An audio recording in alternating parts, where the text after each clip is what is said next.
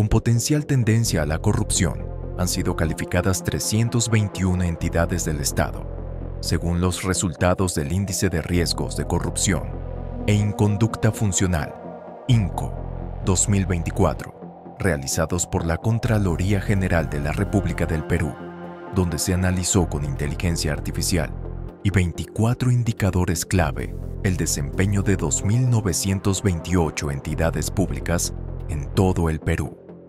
Los resultados fueron presentados recientemente, destacando a la Municipalidad Provincial de Huamanga, Ayacucho, como la entidad con el mayor riesgo, alcanzando 87 puntos sobre 100.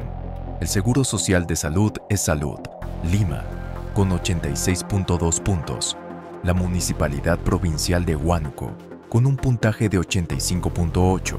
La Municipalidad Distrital del Porvenir, La Libertad, con 83.4 puntos, y la Municipalidad Provincial de Mariscal Nieto, Moquegua, con 82.6 puntos. En el ámbito del Gobierno Nacional, la Policía Nacional del Perú, PNP, lidera la lista con 75.7 puntos.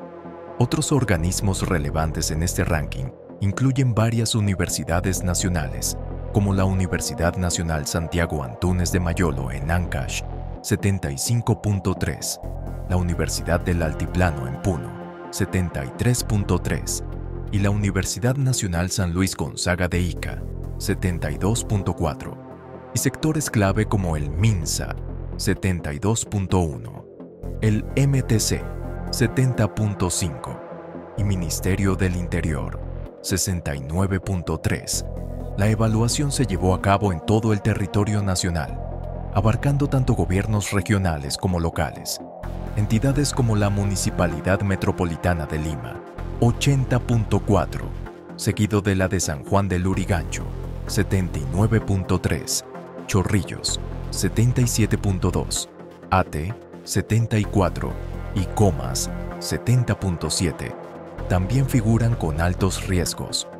El INCO 2024 revela problemas significativos como contrataciones poco competitivas, proyectos abandonados y funcionarios con sanciones vigentes.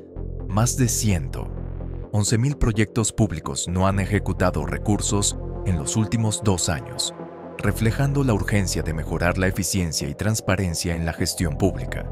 La Contraloría ofrece apoyo técnico a las entidades para entender los indicadores y métricas utilizados con el objetivo de implementar medidas correctivas y optimizar su desempeño en el futuro.